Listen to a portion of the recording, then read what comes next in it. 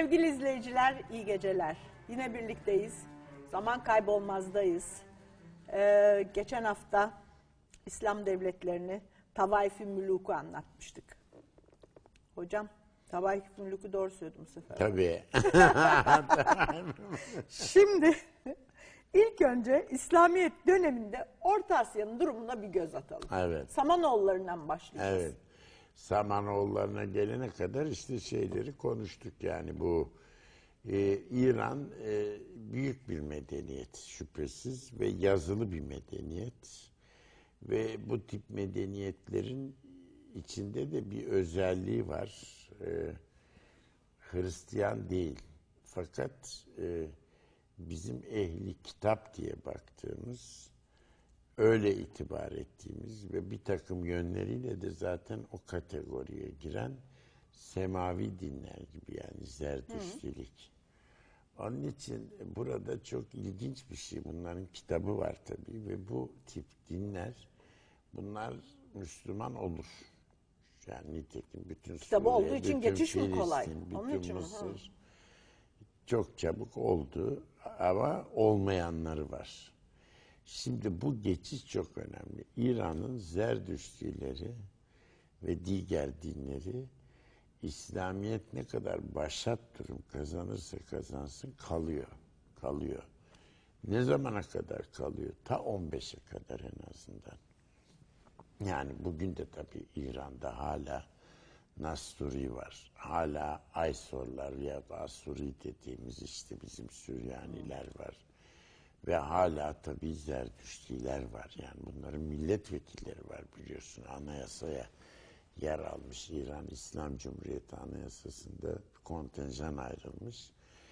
E, bundan kolay değil bu dönüşüm.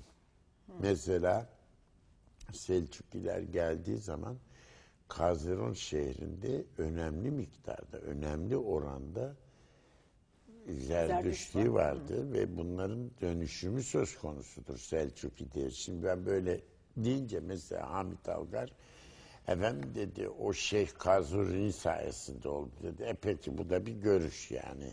Küçümsemedik. Büyük adam da önemlidir yani din olursun falan ama işte kalmış ve Selçukilerin İran'da böyle bir İslamlaşma sürecini hızlandırmaları söz konusu.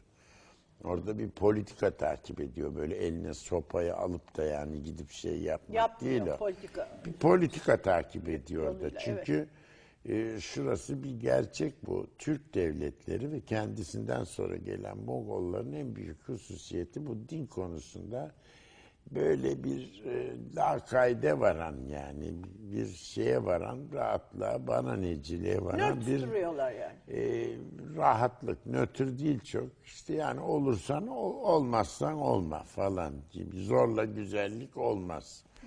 Ve o zorla güzellik olmazı bir tolerans felsefesi lafazanlığı içinde değil de bir tavır olarak düşün. Moğollar o sırada Budist mi? Hayır Mogollar da arkadan geliyor. Hayır Mogolların da her şey olduğu açık. Yani çok daha şeydir onlar fakat bir yerleşme söz konusu. Şimdi böyle İran gibi ülkelerde kendisi propaganda yapıyor İslamiyet'i. Yani bizim al kabul ettiğimiz Arap alfabesi İran formudur. Yeni harflerle.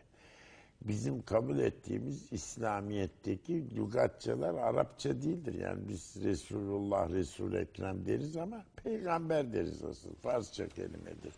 Namaz deriz yani değil mi? Oruç deriz falan. Bunlar hep Farsça kelimelerdir yani. Ee, üzerinde önemlikle önemli durulması gerekiyor. Böyle bir kültür var. Şimdi e, bakınız dikkat ediniz. Geldik Orta Asya meselesine. Şimdi Orta Asya dediğiniz zaman ben size bugünkü coğrafyayla söyleyeyim. Türkmenistan'ın güney kısmı Horasan. Özbekistan'ın çok önemli bir kısmı bak güney çizgisi ve tabii ki Tacikistan o zaten elan Farsça konuşuyor. Sakın da bunu gidip Tacikistan'a söylemeyin çok kızarlar ha. Ne? Farsça Bu, bu, bu, bu çok önemli bir şey. Tacikler için bizim Farsça dediğimiz şey medeniyetin adı Tacik'tir. Tacik'tir. Kim konuşur bunu? Sırf kendileri değil. Afganlılar ve İranlılar da onu konuşur. Ya böyle şey olur mu? Gülünç demeyin sakın. E Farsça da yani nedir yani? Farsça da bir bölgenin etnik adıdır. Anladın mı? Afgan da bir bölgenin etnik adıdır. Onun için Tacik de öyledir. Şimdi Tacikistan, Kırgızistan'ı çıkarın. Fergana Vadisi oldukça karışıktı. Buralarda Farsça konuşulurdu. Dari dediğimiz orta zamanın yüksek Farsçası ve şehir kültürü buna göre inkişaf etmiştir. Dolayısıyla Samarkand ve Buhara gibi yerlerde evet Timur Lengin, Timur'un yaptırdığı medreseler ve ardıllarının tabii ki haleflerinin yaptırdığı medreseler, camiler falan durur ama e, Samanoğulları devrinden daha evvelkilerden kalma eserler durur. Buhara tamamen Samanoğullarının merkezidir. Fakat buralarda bir de şehrin kenarında kazılar görürsün Samarkand'da falan. Kazı yerleri. Burada işte otururlardı. Bunlar merkezlerdi. Mesela Orta Asya'nın Zenç şehri böyleydi tamamıyla. Bu çok önemlidir. Bu kazılar görürsün hiç anlamadım ben. Nasıl kazılar? Kazı yapılıyor mesela. Bir şehir çıkıyor. Başka bir medeniyet çıkıyor. orada. Evet. Fars işte Sasaniler devrinden falan kalma bir şey partlardan. Şimdi mesela Zenç şehri değil mi? Mesela çok enteresan. Bunların hepsini görüyorsunuz gittiğiniz zaman. Ne ne bileyim bugün Özbekistan sınırı içindedir. Sınır şehridir Afganistan'a geçişte. E, nedir şehrin adı? E, her, bu çok enteresan bir şey. E, en güzel Arapça kitabın, Arapça manuelin yazıldığı şehirdir bunun adı. Termes derler bizimkiler. Tırmis, Tırmizi'nin şehri. Şimdi buralarda düşününüz bunlar eski merkezler ve Orta Asya İran kültürünün, eski İran dininin hakim olduğu bir merkezdi. Buranın Türkleşmesi sonraki bir olaydır. Kuzeyden Türklerin nüfuz ede ede ede gelmesi girmesiyle olmuştur. Ve bu bütün Türk alemi için doğrudur. Türklük için İslamiyet demek İranlıların hocalığıyla becerilen bir şeydir. Yani biz doğrudan doğruya Araplarla temas etmedik. Çünkü hele kitlevi bir biçimde İslamiyet'i kabul ettiğimiz dönemde artık Arap dünyası yani orijinal Araplar, Emeviler, Abbasiler çoktan gerilemişti. Ve ortada İslam medeniyetini bile götürenler, yazanlar İranlılardı. İranlılardı, Çok evet. önemlidir bu Farsça. Ve tabii bir müddet sonra buralardan çıkan bazı Türk mütefekkirleri falan bile e, Arapça da yazsalar Farsça biliyorlardı falan. Farslık İran dili Türkiye'ye çok nüfuz etmiştir. Şimdi bir büyük şair var Genceli Nizami daha sonraki devir. Bu büyük bir Türk şairi. Samanoğlu Kendi de mu bu da? söylüyor. Hayır çok sonraki devir. Sen Azeri falan diye soruyorsun ya. Tamam. Türk'üm diyor. Hani şiiriniz nerede? Bir tane Türkçe ve şeysi yok, beyti yok. Onun için e, bizim İran Azerbaycan'daki meşhur hocalar bütün bunu söylediler. Nizami bir Türktür ama Türk şairi değildir dediler. Çok önemli. Türktür ama Türk şairi değildir. Dilini Çok önemli. kullanmıyor tabii. Dilini kullanmıyor tabii. Çok önemli bir şey bu. Bunun üzerinde ısrarla durmamız gerekir. Bu bir yapılanma biçimidir gene. Yapılanma biçimidir. Türklük dil olmasa da yaşar. Yaşar. Geçen Çünkü kendine has bunu, evet. müesseseleri vardır. O müesseseleri kendine göre geliştirir. Mesela arazi meselesi çok farklıdır. Tamamen askeri bir iktidar sistemi getirir. Yani Araplarda görünmeyen biçimde. Çünkü o sınıf ona lazımdır, ayakta duracaktır. Vakıf kurumunu kendine göre geliştirmiştir, teferruatıyla. Kendine göre işte bir medrese sistemi vardır, bürokrasiyi kurmaya yöneliktir. Efendim kadı, yargıç meselesi Türklerle mi çıktı ortaya estağfurullah. Ama Türklerin kadısı başka bir şeydir. Tamamen bir hiyerarşiye, sınıflaşmaya, derecelenmeye bağlıdır. Öylesi yoktur. Öylesi yoktur. Bir silktir bu yani. Bunu böyle size rahat söyleyebilirim. Yani çünkü ben bunun üzerinde çok çalıştım. Başlatan da zaten hocamdı. Bu farkları orada görüyorsun. Evet Hazreti Ömer tayin etti kadıyı. Şu şu şartlar olacak dedi bilmem ne. Mısır'da var, Fatimi'de var, Memluk'ta var, bilmem ne var. Hepsinde var, Abbasiler'de var. Kadil Kudatlar var efendime söyleyeyim. Ebu Hanife Kadil Kudat olmadı diye sopayla dövüp öldürdüler mübarek adamı. Bunlar hepsi var ama doğrudan doğruya bir kadı nasıl imtihana girer, nasıl mesleğe başlar, nasıl tercih eder? Bu gibi bir teferruat, böyle bir hiyerarşi, böyle bir askeri hiyerarşi adeta. Çünkü kadı bir de Disiplinli bir hiyerarşi. maliye memuru, belediye başkanı falan Türklere has bir şey. Ve bunun tabii onun için çok üzerinde duruyoruz.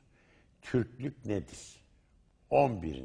asrın sonu ve 12. asırda Anadolu'da daha ancak 100 sene olmamış Selçuki Anadolu'ya gelip yerleştiği zaman ilk Türk devletinin resmen ortaya çıkmış. Karahanlılar.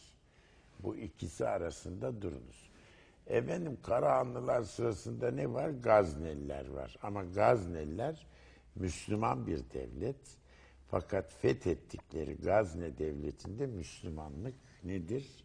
Azınlığın azınlığıdır.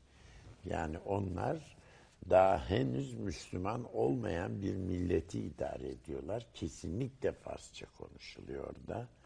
Başka bir dil konuşuluyor bugünkü Afganistan. Ve bu yüzden Gazne hükümdarlarına ilkine Alptigin, Sebuktigin, ondan sonra onun oğlu Gaznevi Mahmud'umuz meşhur.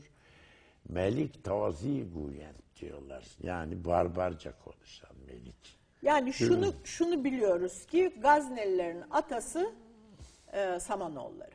Hayır.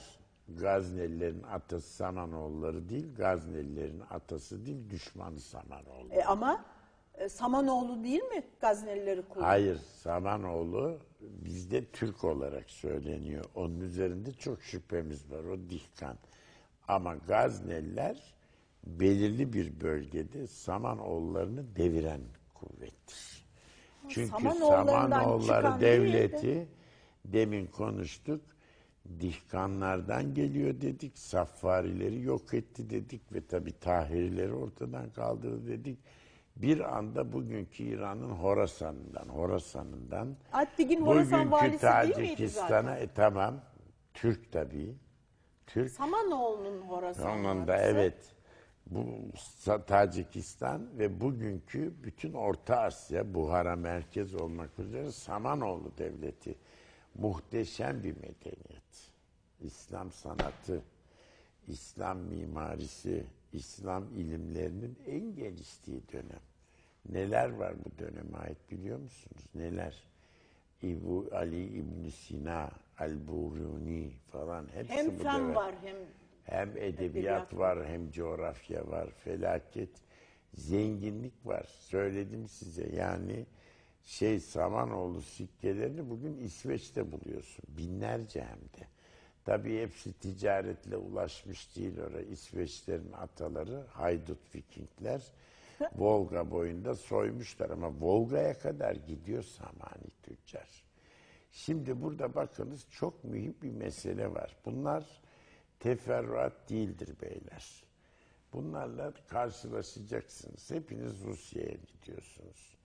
Bir takım kazanlı dostlar Tataristan Cumhuriyeti'nde. Artık biz Tatar değiliz, biz Bulgarız diyorlar. Bulgarlardan geliyoruz. Çünkü Bulgar devleti 10. asırda var ve Müslüman. Ve bir takımı diyor ki tabii tek tanrılı dinin kabul edilişi medeniyet olarak telakki edildiği için sosyolojikman Öyle. bilhassa söylüyor. Niye öyle? Yani ben sana tek tanrılı olmayan bir takım medeni toplum göstereyim ama maalesef sosyolojik olarak Sovyet görüşü böyleydi. Avrupa görüşü de böyle. tek tanrı dil olunca Öyleyse diyor biz Ruslardan daha medeniyiz. Nereden çıkıyorsun? Çünkü Kiev künezi Büyük Vladimir'in Hristiyanlığı kabul ettirişi ettirişi ve ahaliyi vaftiz edişi bizim Bolgarların ataları Müslümanlığı kabulünden 50 sene sonra diyor. Buyur. Anladın mı? Ve tabi Bolgarlar biliyorsunuz 7. asırda Bulgaristan'ı bugün fetheden e, silah üstünlüğü, asker üstünlüğü olan onlar Slav üstüne gelip oturan bazı kelimeler ve isimleriyle. Demek değil ki Bulgarlar Türk. Hayır. Gelip oturmuşlar üstüne. Dilleri bile kaybolmuş o toplumun içinde ama mutlaka bir takım şeyleri kabul ettirmişler.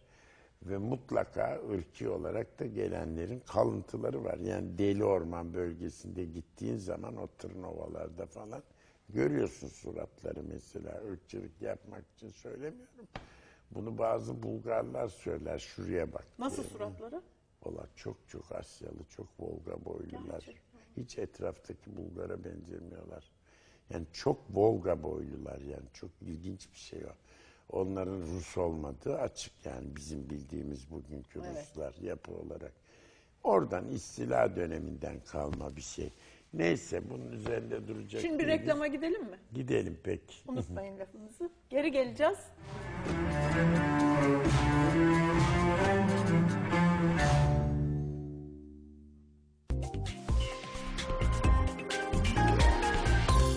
Son 5 yılda dolar %9, euro %22 kazandırdı.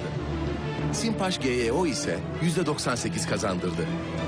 Simpaş GEO hem paranızın değerini arttırıyor hem de sizi ayrıcalıklı projelerinde ev sahibi yapıyor. Peki gelecek 5 yıl için siz ne düşünüyorsunuz? Simpaş GEO projeleri sizi bekliyor. Ne dolar ne euro. Sadece Simpaş GEO. kazandıran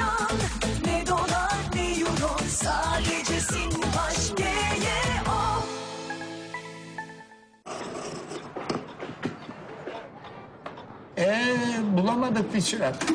Gördün mü? Ama merak etme Bülbül. Evelallah bu titrek eller seni de tamamlar.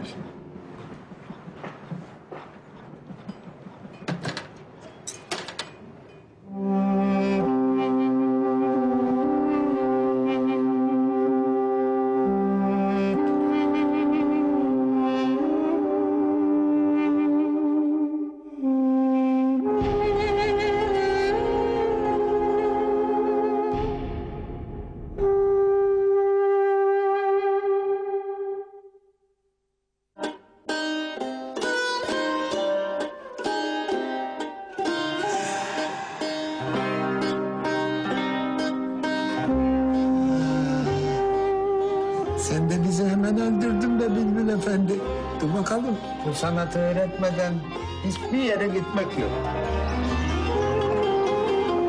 Anadolu Sigorta bir usta bin usta projesiyle bir usta anlatıyor bin usta yetişiyor. Onlarca Türk sanatı kaybolmaktan kurtuluyor. Çünkü Anadolu Sigorta'da kaybetmek yok.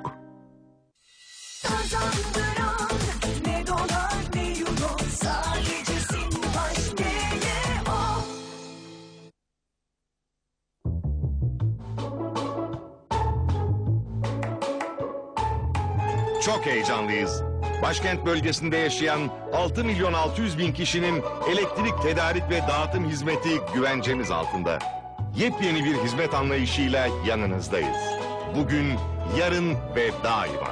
Enerjisa, hayatın yanında. Mümkünü de bütün evlerde internet kullanılacak. O yapıldı canım. Sokaktan internete girilecek. O da yapıldı. Sınırsız internet olacak. Megabitli. Bunların hepsi bizde var kızım. Var tabii ama bunların hepsinin bir pakette toplandığını düşünün. Paket mi? Paket mi? Paket. Aslan kızım benim.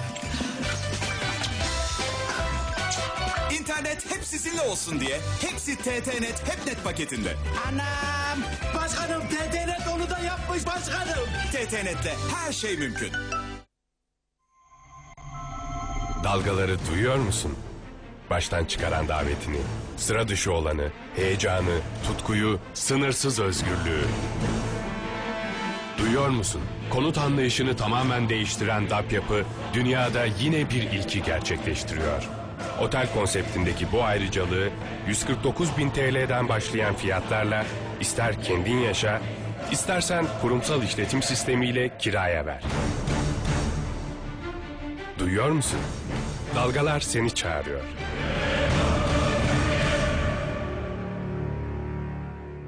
TTNet HepNet paketi ilk 3 ay ayda 29 liraya.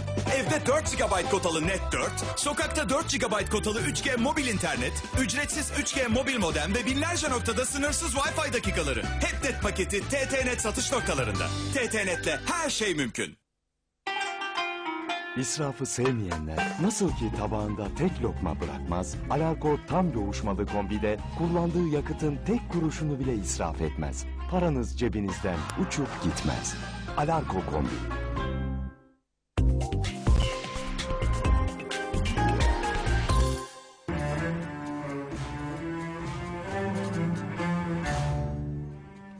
Ee, Balkanlarda, Bulgarlarda kalmıştık. Evet. Gaznelere henüz geçmiyoruz değil mi?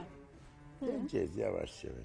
Şimdi Balkanlarda tabii böyle bir yapılanma var. Bulgarlar ve Bulgarlar hepimizin bildiği gibi Slavların içinde, Slavların içinde ilk Hristiyanlığa girenler.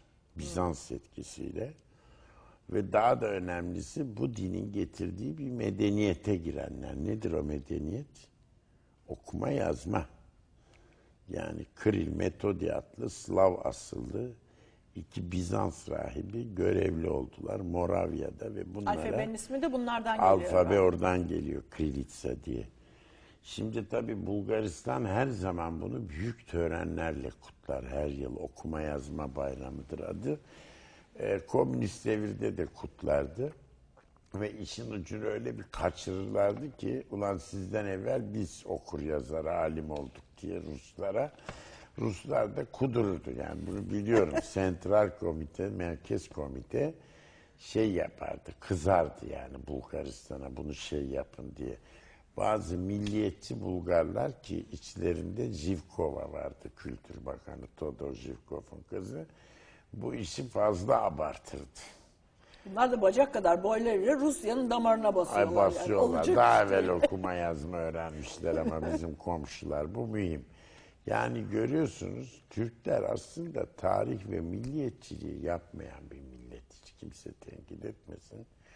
Bunlar o kadar büyük kavga konularıdır ki sırf Balkanlarda ve Doğu Avrupa'da falan değil, Batı Avrupa'da da öyledir. Yani bunların üzerinde durmak gerekir. Şimdi bu böyle bu Volga boyunda bu Bulgar Hanlığı kuruluyor. Bugünkü Kazan Tatarlarda, Tataristan'da biz Tatar değiliz, buyuz aslında diyorlar. Bu yeni kavga. Şimdi burada ticaret yapıyor Samanoğullar. Yani bu zengin bir devlet. Ve bunların çok önemli eserleri var. Yani e, bina yapım bakımından öyle, efendime söyleyeyim o Buhara'yı düşününüz, o Samarkand'ı düşününüz. İlim adamları bakımından Hem öyle. dini hem sivil yapılar? Coğrafyacılık bakımından öyle. Fakat bu devlet 100 seneden fazla yaşamadı bu da. Niçin? Çünkü bir kere çok fazla askeri faaliyet gerekiyor. Asker de burada da gene şey Türk. Yani Türk merseneri, Türk kiralık askeri, Türk istihdamı olmadan ordu kuramıyorlar hiçbirisi bunların. Bu Abbasilerle böyleydi. Bu İran'daki Tahirilerle böyleydi. Mısır bu Samanilerle böyleydi. Mısır'ın öyle olduğunu söyledik. Ve tabii bir müddet sonra bu gelenlerin Claude Cahen çok iyi işaret etmiş buna. Ya diyor bu adamlar artık kaza da yapacak halleri kalmadı. Çünkü kuzeydeki Türkler de başladı şamanlar Müslüman olmaya. E Müslümana mı kaza yapacak diyor. Dili de adamın kendi dili, cinsi de kendi cinsi. Ve idare çok zorlaşıyor tabii. Vergileri toplamak falan böyle aniden.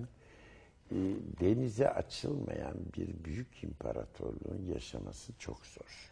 Ben şöyle Bu bir şey benim görüşüm. anlıyor muyum? Fütuhat Ya- yapmadıkça Fütuhat yapmak yetmez. Denize açılmayan bir imparatorluğun yaşaması çok güç. Cengiz Han İmparatorluğu dünyayı kapsadı, deniz imparatorluğu değildi. Roma İmparatorluğu imparatorluktu. Çünkü deniz imparatorluğuydu. Sırf Akdeniz değil, bulunan sikkelere bakarsan şeyi geçerek Kızıldeniz'i geçerek Hint Okyanusu'na kadar gitmiş. Emeviler ve Abbasiler deniz imparatorluğuydu. Onun için kalır onlar medeniyet olarak. Ve Türk Hmm. Neden bu dünyasında denize da açılmamak? Yani bir yolu kapamak yok mı yani oluyor? denizle ilgisi Başka yok. ki. aksesi Kim kalmıyor. bizim devlet tarihimizde denize açılan? Biraz Selçuklular, Karadeniz ötesi koloniler ve Akdeniz'den biraz gittiler. Alanya falan. Sinop, Minop Tepe'de, Sudak, Kırım'da oraya bağlan. Ama asıl Osmanlı'dır. Yani biz Osmanlı ile aslında. Portekiz denizi açılmış da ne olmuş? Türkiye'nin E, Çok iyi kadar. olmuş Portekiz o Her bodur yere- haliyle. Kaç tane sömürgede Portekizce konuşuluyor. Bırak Avrupa Birliği'ni. Yani kaç tane sömürgede Portekizce konuşuluyor. Portekizce konuşan bir dünya var. Koca Brezilya falan. Yani Portekiz nedir? İşte odur yani bir yerde denizler falan. Bu çok önemli.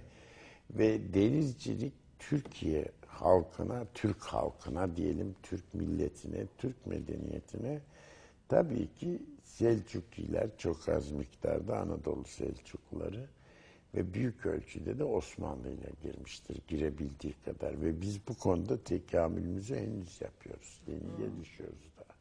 Bu önemli. Bunun dışında Asya imparatorlukları inkiraza mahkumdur. Çünkü bunlar İnkiraz ne denizci- demek? Decline, decline.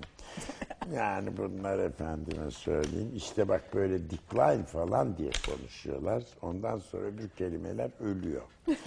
yani, yani bir şey yani bu tabii çok önemli bir fasıl. Buradan e, imparatorlukların Asya'daki imparatorlukların karakteri ortaya çıkıyor. Bir, bir zaaftır bu belki tarihi olarak öyle düşünüyorum ben. Bunu aşan e, Osmanlı'dır. Aşmaya çalışan, aşan Osmanlı'dır. Devam ettirmiş en azından girmiş bu yola artık değil mi? E, bugün mesela Türkiye'de denizcilik ve tabii donanma, bahriye, elan, kuvvetlenme, genişleme safhasında. Üzerinde ısrarla durmak durumundayız bu şey ve bakışın. Şimdi bu Farsça konuşan bir Orta Asya dünyası. Burada ilim adamları çıkıyor falan. Çıkanlar tabii İranlar en başta Arapça bilmek, yazmak durumundalar. Buhari, İsmail Buhari mesela oturuyor tamamıyla hadisleri toplayan. O öyle kolay iş değil öyle bugünkü gibi falan. Evet, bugünün hadisçisi İsmail Buhari'nin bildiği dilleri bilmiyor. Bilmiyor yani adam Aramca biliyor, İbranca biliyor. Zaten Fars, Arapçası mükemmelen haliyle. Ve tabii çok iyi tarih ve biyografi biliyor. Ayıklıyor hadisleri. Geçen sefer konuştuk. Ona göre ayıklıyor çünkü bir takım uyduruk hadisler var ve Tabii, bir takım geçen- kasıtlı hadisler var. Yani İsrailiyattan evet. girme falan. Bunları ayıklamak lazım.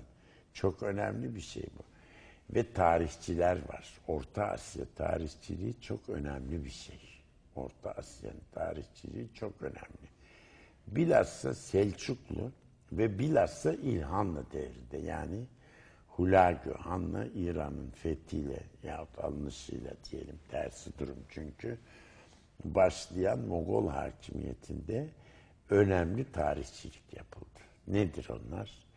İki tane çetin ceviz var ki bunu daha biz henüz anlayıp neşredemedik. Batı dünyası gene anlamaya başlamıştı ve henüz tam anlamıyor. Mesela Vassaf tarih. Vassaf böyle bir şey. Gayet çetin ceviz bir Farsça. Ve buna Hammer çevirdi. Kurent yazısıyla böyle eski şey. Bu çeviriler duruyor Avusturya Milli Kütüphanesi'nde el yazmaları. Kimse bunu neşredemiyor. Neden? Vallahi çok zor. Çalışmak lazım. evet. Kızcağızın birisi Brigitte neydi soyadı daha ismini öğrenmek lazım değil. Çıkartamadı çünkü soyadını. Ama uğraşıyor üzerinde. Mesela öyle bir şey olursa günün birinde bunun Almancası çıkacak. Ondan sonra öbür dillere de çevrilir.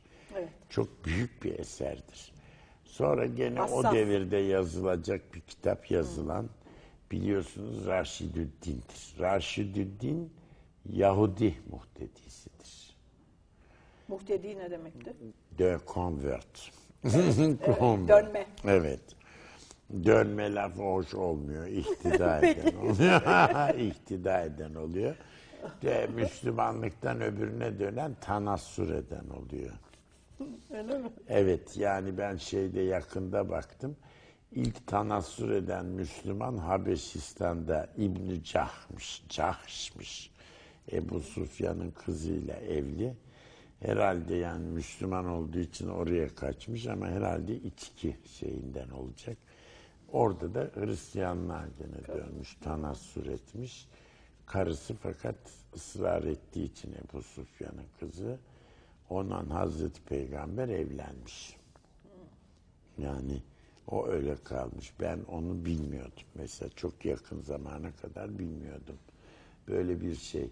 Şimdi e, dev- enteresan olan şey burada bu Reşidüddin inanılmaz kaynaklar kullanıyor. Yani mesela İbn Haldun'u kullansın, hadi Taberi'yi kullansın bilmem ne. Adam Çince kullanıyor. Adam Latince kullanıyor. Rumca kullanıyor. Eski Farsça kullanıyor. Adam İbranca kullanıyor. Yani Flavius Josephus var kaynaklar arasında mesela. Ve onun için cami tevarih yani bütün tarihlerin şeysi icma toplama olan bir şey universal tarih çok önemli bir kaynaktır ve elan altından kalkılmış değildir bu. Bunlar bu dönemin şeyleridir, çıkartmalarıdır, itmeleridir. Sonraki şeye akseden her halükarda Alptigin Şu Gazne Samanoğulları 100 devletini yıl kadar kurdu. sürdü dediniz. Evet, ondan sonra biz Gaznelileri görüyoruz. Hı. Bu çok önemli bir şey. Gazneliler, Ve bu Alptigin, de Samanoğlu değildi. Sebüktekin ve Gaznevi Mahmut. Şimdi bakın, şu sülaleye bakın siz ne garip sü- sülale. Bunlar İngiltere tahtına çıkan bir George'lar var 18. yüzyılda. Birinci George, ikinci George. Bunlar Hanover büyüklükleri, Alman. Baba da oğul da İngilizce öğrenmedi. Öğrenmedi. Hayır öğrenmedi. Kabine toplantısına giriyor, sıkılıyor. Onun için bir müddet sonra girmemeye başlıyor. İngiliz kabinesi öyle çıktı bir bakıma. Öğrenmiyor. E, tercüme ediliyor tabii onlara. Öğrenmiyorlar. Bunlar da öyle yani. Öğrenmiyor bunlar Farsça, Marsça. idare ettikleri yeri doğru düz öğrenmiyorlar. Mesela Gaznevi Mahmud'un büyük dramıdır bundan bahsettik. Devrinin şairi Firdevsi. Firdevsi kendinden evvel Dakuki'nin yaptığı ve tamamlayamadığı bir işi tamamladı. Dakuki İran tarihini şehname biçiminde yazıyordu efsaneleri falan. Bir öldürüldü arada. E, o hazin bir hikayedir. Bu devam etmiş ve bitirdi. İşte şey dağdaki çobanlardan bile derlemedir o bilgi. Tabii müthiş anti Arap'tır falan yani İslam öncesi İran'dır. Takdim ettiği Şehname'yi tabii ki Gazneli Mahmud'un anlaması mümkün değil. mümkün değil. Müşavirleri de burada iş yok dediler. Mikropluk, bahşiş iyi gelmedi. Atiye. Kızdı öbürü. Parayı gitti hamamda dellaklara verdi bahşiş diye. Ve kaçtı köyüne çekildi. Neresi orası? Horasan'daki Tuz şehri. Firdevsi Tusi ya. Tuz'da ben Taciklere rastlamıştım. O zaman Sovyetler Birliği vardı da. Kalkmış gelmişler Tacikler. Böyle ziyaret ediyorlar Firdevsi. Komünist Parti üyesi falan akademisyenler. Ve dediler ki bana bu dediler Firdevsi'den 10 tane beyit okumayan dediler bir savattır, nigramat ne falan böyle. Yani? Ümmi. Ümmidir. Cahil. falan böyle imtihan ettiler beni falan böyle. Yani birkaç şey okumuştum o zaman. Sonra Hemen halk söylediniz. tarzı bir şiir var. İyi sen dediler geçtin. Sınıfı geçti. Hatta biri alay etti seni akademiye üye yapalım dedi. Öbürlerine pislik atma gülüm bana. Şimdi bakınız dağlarda yaşayan Sovyetler Birliği'nin Tacikistan dağlık ve fakir bir ülkedir. Yani hakiki bir samani coğrafyası değildir. En ücra yerdir. Onun bir ucunda da İsmaililer vardır yani. İsmaililik oraya nüfuz etmiştir. Badahşan bölgesi. Dağlık Badahşan bölgesi. Pamir Tacikleri derler onlara. Gerisi Sünnidir. Bu İsmaillikle ilgili şimdi bir soru geleceğiz, var. şimdi bir reklam arası verelim. Tamam. Bundan oldu, başlayalım. Tamam, Hazır oldu, İsmaillik dersek. Tamam. Şimdi Bizden ayrılmayın. İyi gidiyor yani. Evet. Konuyu götürüyoruz böyle. Geri geleceğiz.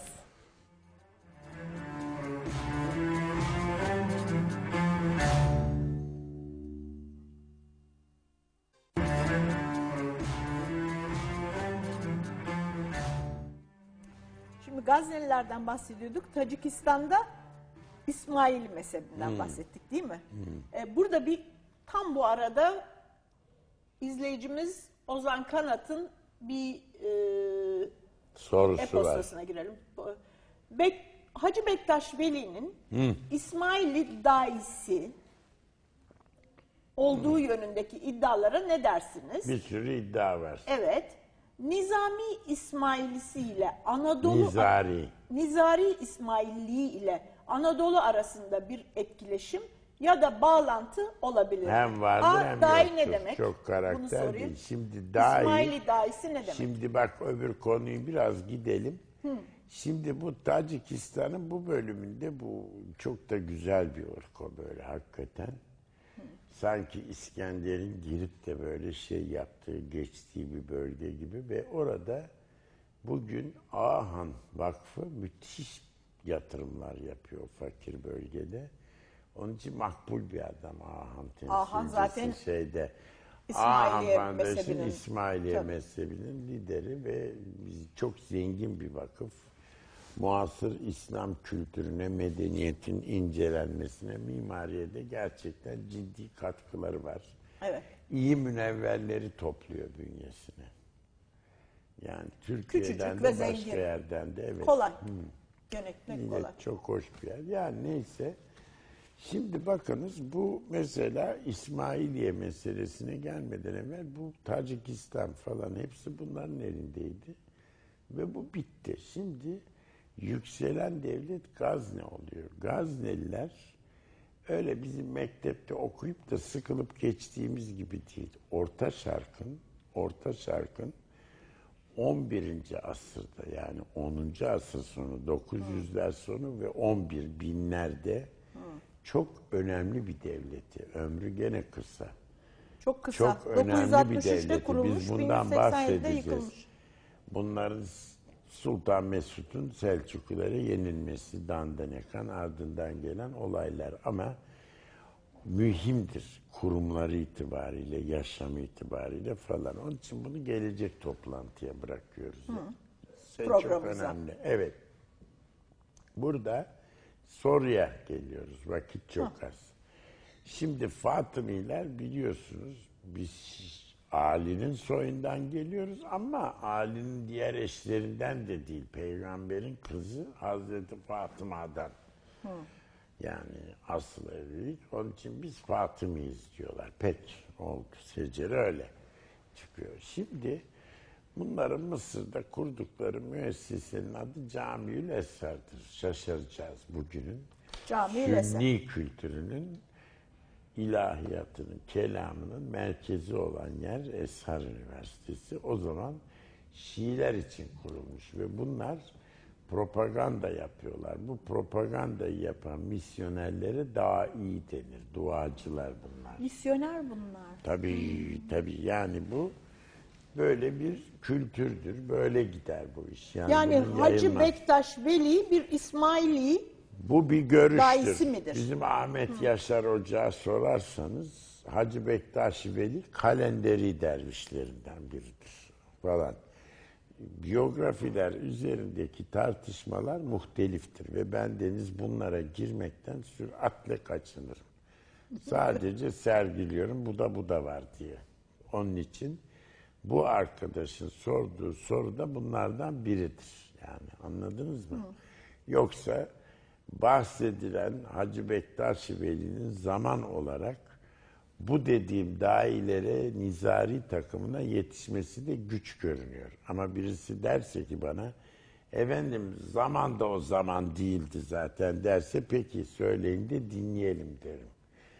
Abi söylediğim gibi beynel müellifat, müellifler arasında fevkalade münakaşalı konular bunlar. Yani onun için de ben bu görüşmelerimizde bunlara katiyetle, kesin tavırla girmekten müthiş çekiniyorum. Ama böyle bir şeyler vardır, notlar, referanslar. Bunları da biliyoruz. Bunları bilmekte fayda vardır. Şimdi İsmailizm nereden çıkıyor? Biliyorsunuz Hazreti Ali'nin çocukları Hasan Hüseyin ve ondan sonra devam eden Ebu Musa Kazım pardon Ebu Musa Kazım'dan evvel İmam Cafer-i Sadık henüz 12 imamların içinde. İmam Cafer-i Sadık'ın iki oğlu mühimdir. Birisi Ebu Musa Kazım ki Abbasiler devrinde Harun Reşit'in muasırıdır bu. Öbür de kardeşi ağabeyi İsmail'dir. İsmail Ebu Musa Kazım'ı tercih edenlerin tercih ettiği bir halef değildi. Yani öbürünü daha ulu, daha veli, daha bilgili, imamete daha layık gördüler ve bunu reddettiler. Ama bir takımı da İsmail'i tercih etti. Ve dolayısıyla İsmail'i onu takip edenlerdir. Zaman öyle oldu ki bugün İslam dünyasında kimseye sormazlar sen Sünni misin, Şii camiine ne giriyorsun falan diye. Fakat İsmailler için bu varit değil. Yani camileri bile ayrıdır. Sanıldığının aksine öyle militan falan değillerdir. Bugün. Ve sanıldığının aksine öyle bahayiler gibi para kapital düşkün de değillerdir. Ama İsmaili Müslümanlığı Hindistan'dan, Pakistan'dan tutun da Doğu Afrika'ya, Zengibar'a, Tanzanya'ya kadar zengin tüccar esnafın bağlı olduğu bir mezheptir. Onun için ve müthiş insanlar paralar ve fontlar geliyor. Evet. toplarlar. Toplarlar ama iyidirler. Yani dayanışması yüksek bir gruptur. Zaten fakirlik fakirlikten değildir. Anlatabiliyor muyum? Fakirlik organizasyon ve dayanışma kıtlığından çıkar. İsmaili mezhebine bağlı olan insanlar İslam dünyasında fakir bölgelerden olsalar bile bu kara kaderi kıran adamlardır propaganda yapmak için.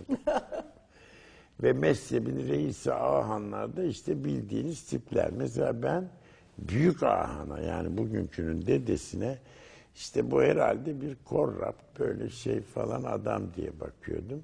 Hatıratını falan okuduğum zaman gördüm ve başka notlara da baktığımda gördüm ki fevkalade bilgili, zeki bir adam. Çok iyi eğitimli hepsi. Çok ama görüşleri fevkalade doğru yani. Mesela hakikaten okuyun bizim İttihat Terakki'yi değerlendirişini. Küçümsemiyor ama hatalara çok önemli bir şekilde dikkati çekiyor. Yani Rusya çarlığını nasıl olur da böyle bir adam böyle tenkit edebilir? Bu kadar doğru bir tenkit olabilir. Bu harp öncesi durum tabii. Yani İngiltere İmparatorluğu ve bunların durumunu ve bağlantısını anlıyorsun. Avusturya İmparatorluğu'nu, Rusya'yı, Osmanlı'yı anlıyorsun. Mesela katiyen Osmanlı hilafetine karşı değiller. Destrüktif bir faaliyet yürütmüyor. Halbuki öyle olması gerekir. Çünkü mazide Fatımilerde İsmaili kolu hilafeti İslamiye'ye Bağdat'a karşıydı. Ve hatta oradan o kadar şiddetli kollar çıktı ki biliyorsunuz Hasan Sabbah'a kadar uzanan şeylerdir. Bugün başka bir şey oldu. Peki çıktıkları nokta Tacikistan'da kaldılar Şimdi mı hala? Tacikistan'da da var, Hindistan'da, Hindistan'da da da, var, evet. bilmem nerede de var. Pamir'in Tacikleri İsmailidir, fakirdirler dağlık bölgede. Öbürleri Sünnidir. Komünist devirde bile Sünni köylere traktarist yok kolhoz katibi diye imam tayin ederlerdi parti. Sünnilik orada yaşar, Şiilik de böyle yaşamıştır. Bugünün Tacikistan'ı değişiktir. Yani bunun üzerinde duralım. Bizim mazide bu işe bakışımız ise nasıl olacak? İsmaili mezhebi dailer vasıtasıyla propagandasını yapar. Şunu söyleyelim. Fatımilerin el esrarına karşı Selçukiler Nizamül Mülk, Nizamiye medreselerini kurdu. Suriye'de filan bir takım medreseler teşekkür edildi. Hiçbir zaman Sünnilerin propaganda gücü, önleme gücü İsmailler ve Şiiler kadar kuvvetli olmadı. Bunu bilin. Şimdi sorunun sonuna geliyoruz. Galiba vakit de Çok ilerliyor. ilerledi evet. Bir tek Bu bir şey arkadaşın soracağım. Sorusuna cevap vereceğiz. Sen Hı hı. sormayacaksın. Şimdi Peki. o diyor ki Anadolu şeysi, efendim bizim Anadolu Aleviliğinin bu Şia ile ve İsmaillikle tabii hiç alakası yok. Onu bilin. Bizim folklorcular, edebiyat tarihçileri falan köy Aleviliği derler. Çünkü Anadolu Aleviliği daha çok köylerde, kırsal merkezlerde toplum arasında inkişaf etmiş, yayılmıştır. Her köyün, her bölgenin tabii kendine göre yorum farklılıkları olabilir, olmayabilir. Ona hiç girmek durumunda değilim. Herhangi bir Alevi kurultayında bile bunları görmek mümkün oluyor. Çok gitmediğim zaman son zamanlarda artık takip de edemiyorum. Efendim alakası yok. Yani bunları benzetmeyin. Yani İran Şiiliği Caferi kolu son derece ortodokstur. İşte oruçtu, namazda, hacca gitmekti. Bir takım böyle içtihat, şeriat konularında fevkalade serttir. Görüyorsunuz. Evet. Efendime söyleyeyim bir de Nusayrilik vardır bizde. Suriye'nin Laskiyesi falan ve bizde Antakya hatta Çukurova'ya yayılan. Bu tip Alevilikle de bizim bu Anadolu'daki Aleviliğin alakaları sıklıdır. İran'ın batı bölgelerinde ehli hak takımı derler. Onlarla da çok sınırlıdır. Anadolu Aleviliği kendine özgü yorumları, çeşitliliği olan bir inançtır, bir mezheptir, bir davranıştır. Bunlarla bağlamayı pek kolay görmüyoruz. Yani mümkün değildir İsmaili takımıyla. Çünkü bunlar İsmaili takımı bir merkezi mezhebe dahildir ve bunların literatürü vardır yani. Takip edecekleri itikatlarını falan kitapları vardır. Bu sırf böyle Hazreti Ali'nin Nehcül Belagası falan değil yani. Mesela ne bileyim Hasan Sabbah ekolünü destekleyen adamlar vardır. Nasruddin Tusi gibi büyük alimler. Onun Ravzatül Teslim diye mesela bir kitabı var. Teslim bahçesi, sulh bahçesi diyelim. Onları takip ederler. Ve tabii mezhebin kendine göre liderleri, yerel liderleri, uluları, nihayet ağahanı vardır falan.